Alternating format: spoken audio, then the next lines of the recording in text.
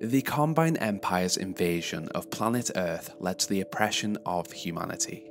On this conquered planet, many giant structures were constructed and modifications were made to already existing buildings to allow this multi-dimensional alien empire to solidify their grasp and control of the species.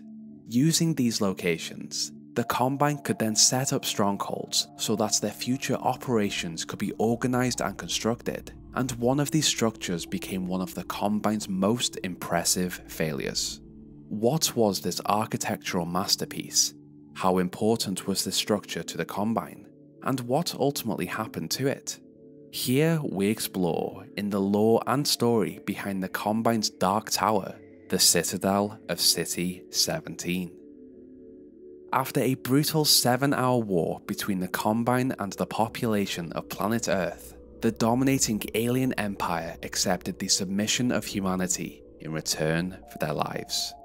With this species now under their control, the Combine just needed to set up strong points across the planet where they could monitor and control the humans as they took the natural resources the planet had to offer. To hold humanity, the Combine developed settlements across the planet, each labelled a city with a number, and within the centre of each of these, they constructed large towers, which became known as citadels. In planning, these towers would help the Combine increase their hold over humanity, where they could house their troops, develop new synthetics, communicate with their homeworld, send out raids, and various other methods of keeping the humans in line. But they would take years to construct. Within City 17, located in Eastern Europe, the Combine began construction on the citadel that would change everything. With a spot chosen, using their advanced technology, the Combine sent through a core from their overworld to Earth. This core would power the Citadel for the next two decades before its ultimate failure. With the core in place, the Combine got to work and built an initial frame where construction began. On their exploration of the multiverse, the Combine had conquered countless species, and upon their defeat, they moved on to the next step mutilation. As each species lived completely differently in their environments, the Combine experimented with their biology to add strength and variety to their armies. This variety helped them in their construction of the citadels, as some of these species could work easily on the bottom levels, while others could fly and carry huge amounts of resources to the builders at the higher levels. Taking advantage of Earth's natural resources, the alien empire procured whatever materials they could find, and using their technologies, adapted these mundane materials into the strong, blue metallic material that the Combine would become known for. Due to the size of this structure, the Combine had to make space for it. For this, they brought in smart barriers, large pieces of machinery capable of demolishing and repurposing whatever got in their way into whatever the Combine required. These smart barriers allowed them to knock down blocks of buildings and obstructions with ease so that the project would not be inhibited.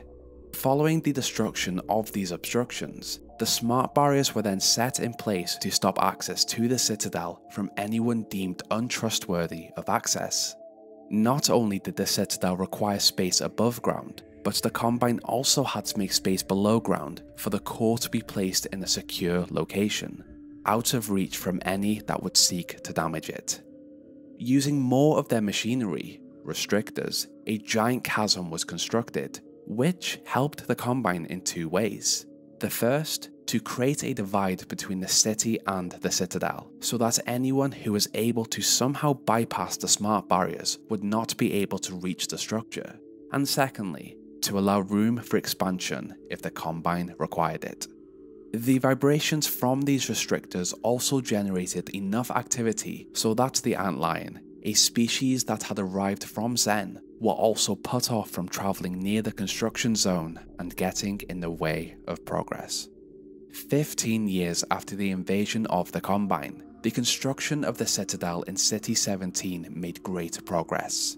With enough work completed, the core was already moved below ground, where it could now safely power the structure without fear of it being damaged. Not only did this include Earth's natural dangers of weather, but it also meant the growing resistance movement that worked in the shadows to halt the growth and power the Combine had on the planet. From this core, the Citadel was also noted to have large wires connected from the tower to various locations across the city, likely constructed to power Combine technology in the area. Over the next five years, the exterior of the Citadel was completed, where the Combine could now make proper use of the space inside to aid in their control of the planet. Although other citadels have been constructed across Earth, the Citadel in City 17 would eventually become the Combine's main base of operations due to Planet Earth's administrator moving here, Dr. Wallace Breen, the man that had negotiated the peace deal between humanity and the Combine 20 years before. While the Citadel in City 17 was extremely tall and wide, it is unknown whether the citadels in other locations also looked the same, or even served the same purpose, but this one would become one of the Combine's most important architectural developments in the war to come. Constructed from the bottom up, the deep underground region of the Citadel was designed to hold its core, the power source of the tower and connected equipment believed to be located approximately one kilometer underground. This giant chamber was fitted with large blast doors to protect the connecting rooms and its inhabitants from the dangerous radioactive nature of the core. Within this chamber, stalkers, mindless human converted husks, were designated to operate the machinery within and keep the core stable. Looking out over this large chamber, a control room was strategically placed for Overwatch soldiers to control and manage the core, as well as an elevator to enter it if they needed to. While the core becoming unstable was an unlikely scenario, in the event it did, three separate chambers were designed to help stabilize it, each fitted with a device to strengthen its containment field. This bottom section of the Citadel was also home to a depot where razor trains could stop in on their journey through the wasteland. With the Citadel being the most important building for the Combine in this sector, the import of cargo such as stalkers, prisoners and materials was important and essential to the operation of the Citadel. From here, the materials were then distributed to the correct sections of the structure. Moving further up, closer to the next level, a chamber was developed to not only hold the Combine advisors in their pods, but also to allow quick evacuation in the event the humans were able to seize control of the Citadel, or if the core became unstable. From this chamber, a large tube allowed access to the higher regions of the Citadel for easy evacuation. Moving upwards towards the center or middle of the Citadel, above ground. This segment was designed merely to allow the transportation of materials, livestock, and prisoners between the lower region and the higher regions, with various forms of elevators, pipes, and conduits of energy. Due to the Combine's initiation of human-based Combine units in the form of the Overwatch soldier, they designed walkways so that this human population could navigate the structure. In combination with this, they also installed force fields to restrict the access of unauthorized personnel, and also a containment field to confiscate any unauthorized weaponry and equipment. With this advanced technology on this level, the stalkers brought in from the lower levels were used to operate and maintain them. These mindless husks would wander from machine to machine without question, obeying only the Combine rule, unable to think for themselves. To add to their workload, the Combine also used the space to house their gunships and dropships. Upon returning from their missions, the Stalkers would get to work to restore them in preparation for their next outing. Just below the holding location of these airborne Combine units, various other land-based units would navigate the claustrophobic halls below, where it is likely the Stalkers would also see to these too to make sure they were ready for battle if needed. With a war still ongoing with the resistance and the need to uphold their control of humanity, the Combine designated factories to convert the resistance of humanity into more stalkers. just like they did at Nova Prospekt, where it is also believed that other factories were used to develop other synthetics, such as mortar synths and the crab synth. In their construction of this building, the Combine had been efficient in the use of materials and minimalistic design in their need to use only what they needed. With this location being a stronghold for the alien empire, they treated it as such with the strongest and most trusted soldiers they had, the Overwatch Elite. These genetically modified human soldiers were stationed to protect the Citadel from any threat and to defend this building with their lives. Alongside this, scanners also frequently patrolled the structure searching for unusual activity in this cold, alien building. Aside from the core, the top region of the Citadel was planned to be the home of the Combine's most important operations. From this high altitude, the gunships and dropships and other airborne Combine units were deployed with these out into City 17 and the surrounding wasteland on missions. At the top of the Citadel, the office of Dr. Wallace Breen was designed to look out over the city. In contrast to the bleak and soulless feel of the rest of the Citadel, his office did have some thought put into it, where a sense of humanity was placed inside of this room. In this office, he conducted his work in a somewhat familiar surrounding. Behind his desk, Breen also had a monitor that allowed him direct contact with the Combine advisors, the creatures seemingly high up in the rankings of the alien empire, but with the Combine consisting of an unknown number of species and planets. Only these appeared to manage the control of Earth. There may have been many higher up in the chain of command. From his office, Breen had some power over the Citadel. In the event the Resistance or a threat to the Combine was detected, he had the ability to trigger the Citadel to enter an alerted state, which would reconfigure the structure of the entire building. In this adjusted formation, the Combine units stationed at the top such as dropships, gunships, scanners, and many others, would leave the building with ease through newly available exit points to track down the subject at large.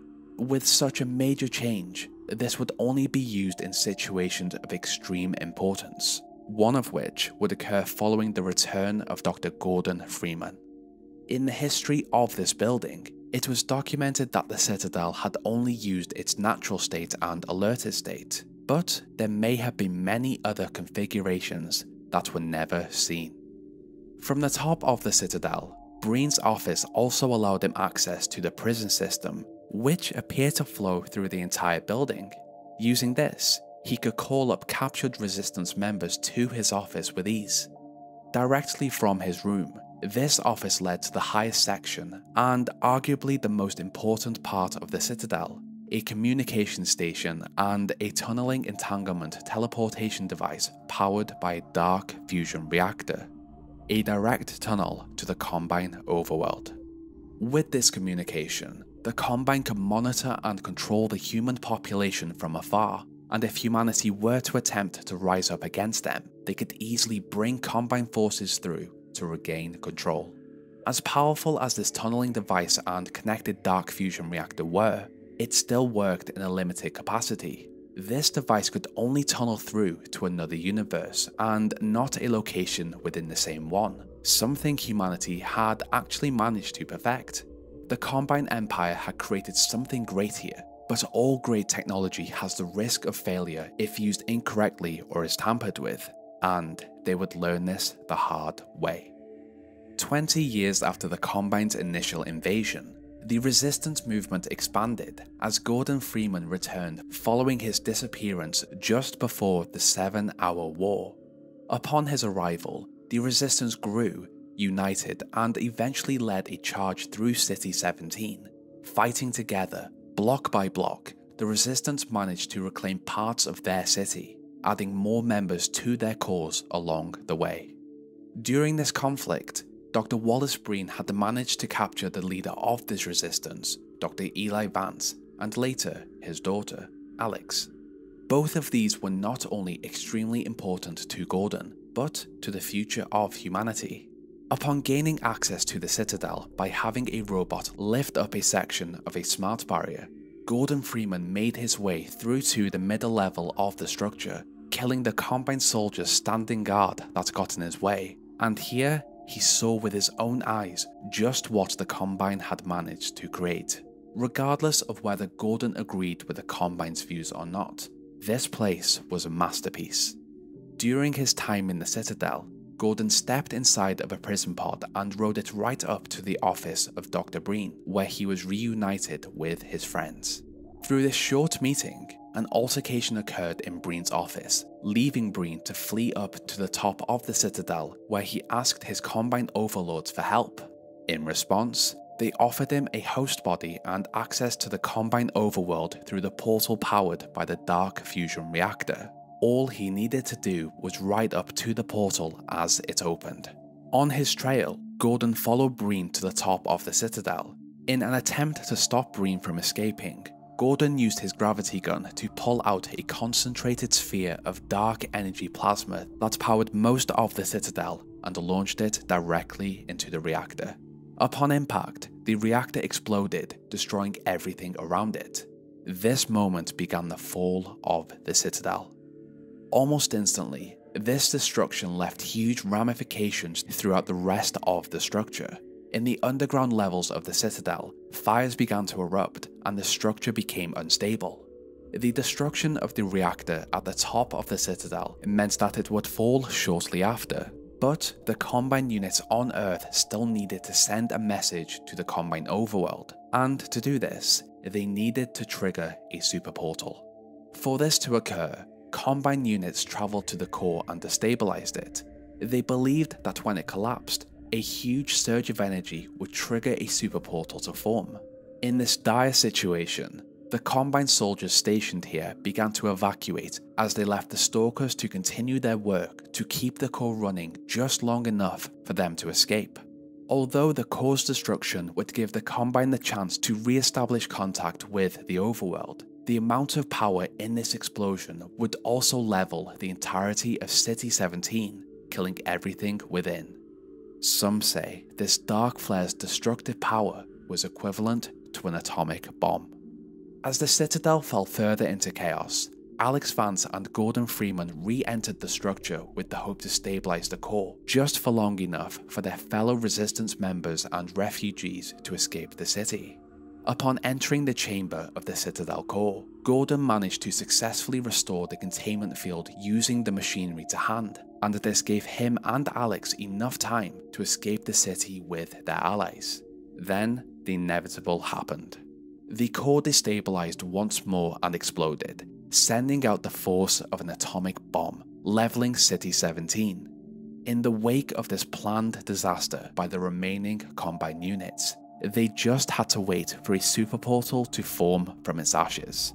This event was felt across the globe as the mass destruction here had a domino effect, where the citadel scattered in the major Combine settlements across Earth also subsequently shut down, leaving the Combine alone, ready to be taken down by the strong resistance.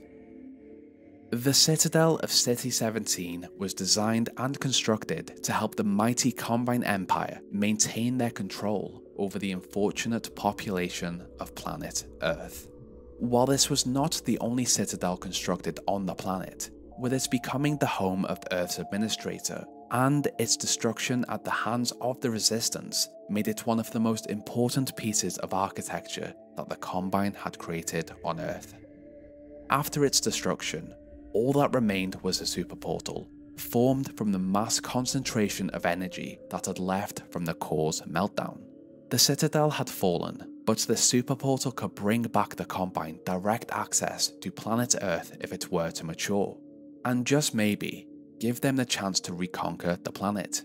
An unknown number of citadels had been constructed on Earth, but from the brief view of the Combine's overworld just before the destruction of the Dark Fusion Reactor, it is said that there were many more citadels visible, just out of reach. A grand design of a building for a grand task. If the Combine are able to recapture the planet, then just maybe, they can rebuild another citadel in the place of the one that had fallen and regain control of humanity, where they can once again reign supreme. The construction of the citadel clashes in canon a little. In Raising the Bar, we're told that part of the city vanished as the Combine delivered the citadel to Earth, while in Half-Life Alyx, we see the construction of the citadel, and we learn that the core of the citadel was delivered to Earth. I was confused about this, and luckily came across an Ask Me Anything on Reddit by Half-Life Alyx's creators, where they stated that the core was delivered. I guess that overwrites what we know. The Citadel is an iconic part of the Half-Life story, and what I love about these games is that there is so much thought put into the development of the buildings. We all know that Half-Life 2 went through various storylines, graphical designs and tones, and the Citadel went through these too. Here we'll cycle through. Here we have the organic version from the beta, the dark, gloomy version of Half-Life 2 that we never received. I love this design. We cycle through to the poster style, tiles, E3, clamp, pre-retail, and finally the version we received. As I said, I do like the version of the Citadel we received, but my favourite by far is the organic version from the beta. I guess I just like the dark and gloomy feel better. Organic also indicates it is alive to some effect, which adds more to the horror of the Combine Empire. Interestingly enough, on the Half-Life wiki, it suggests that the current design is reminiscent of a monument in Aberystwyth University, which was my second choice for university. I ended up going somewhere else though.